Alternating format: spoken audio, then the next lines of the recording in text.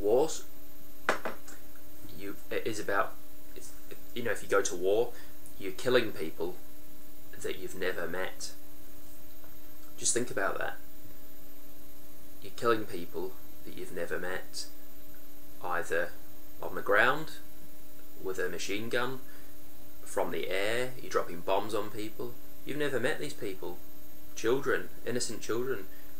People, the majority of people that are killed in wars are innocent people. Um, if it was just fighting on a battlefield, your soldiers against their soldiers, um, it's to me it's that's still crazy, but it's more understandable. Your soldiers against their soldiers on a field, um, you know, I think it's insane, but you can kind of understand that a bit more. But killing innocent people, um, there's no excuses. Now, if you were to go and in everyday life, if you were to walk down the street and kill somebody, you'd go to prison for murder because it'd be murder. But if you do it wearing a uniform, following your government, you won't go to prison. Um, you'll probably get a medal from the Queen. You'll win a you'll win an award for being a hero because automatically every soldier that puts on a uniform becomes a hero these days. You know, it's and I'm not criticizing. Like I said, I'm not criticizing uh, military because I understand the concept behind it. That we we have a right to defend our country. I understand that, but a lot of times soldiers are invading other countries. They are. It's about money.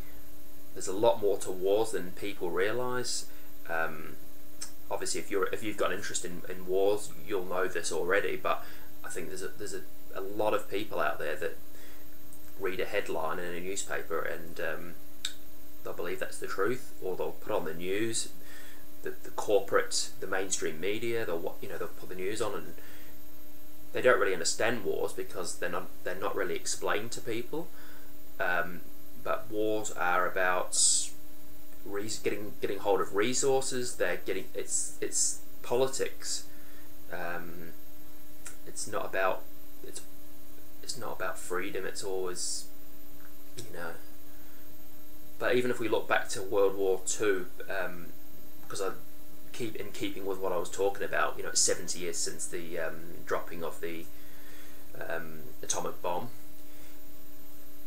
If we look back to um, World War Two, Adolf Hitler came to power, um, and people were obedient to him. They were willing to, to do what he said. You know, the the, the way the the Holocaust and all the rest of it um, through obedience. But Adolf Hitler only came to power because Germany was on its knees after World War One.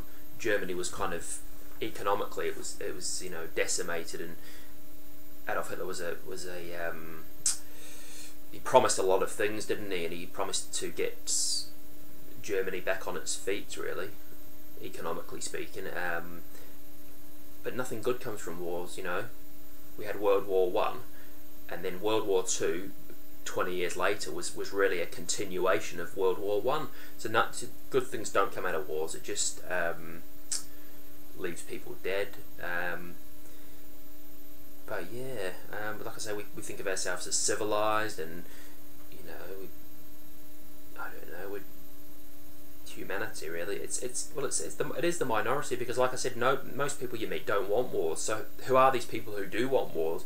It's your government. It's it's you know, it's Barack Obama, it's David Cameron, it's um, they're just two they're just two Western leaders that I'm mentioning, but um, it's a worldwide problem. It's it's you know it's it's um, you know Islamic terrorism, which has been all stirred up in the Middle East. Um, it's yeah, it's men. It's usually men, um, and of course, um, some women now are kind of you know joining the military and they think it's equality because they're they're copying the women are copying the worst traits of men, which is like violence, and um, they think, oh, we've got equality now because we can we can go and kill people as well, and you know it's anyway that's another argument, but um, it's not cool. We we live in a we do live in a society which is saturated by violence. I mean.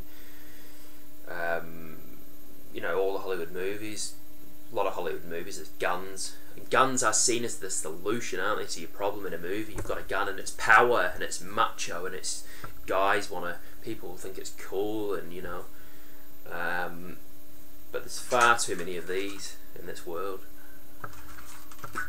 That's not real, by the way. It's a plastic gun. You know, I wouldn't own a gun. I wouldn't own one. Wouldn't want one. But um, far too many weapons in this world, and um, there's a very profitable arms trade. There's an arms trade in this world, which is you know, America's got one, Russia's got one, United Kingdom, I think France, Germany. You know, there's a lot of countries have got an arms trade, and it's really it makes a lot of money, and the, these people will sell to anyone and they, they claim that they won't, that they're ethical and all that. But how can you be ethical if you're selling weapons that kill people? What does a weapon do?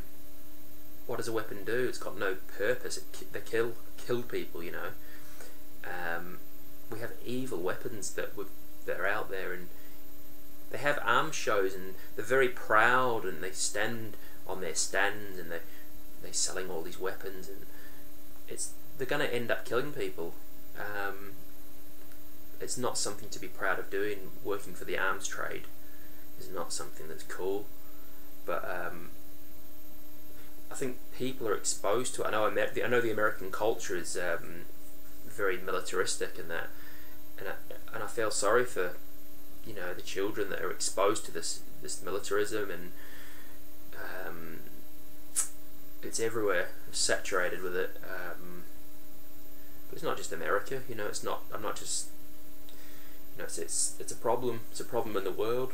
And 2015, I don't really see much improvement. There's a lot of wars going on, and it's you can forget that because I'm living in England, and at the moment it's it's a pretty easy life um, compared to Libya, Iraq, Afghanistan, loads of countries that are you wouldn't realise what's going on. It's um, through wars.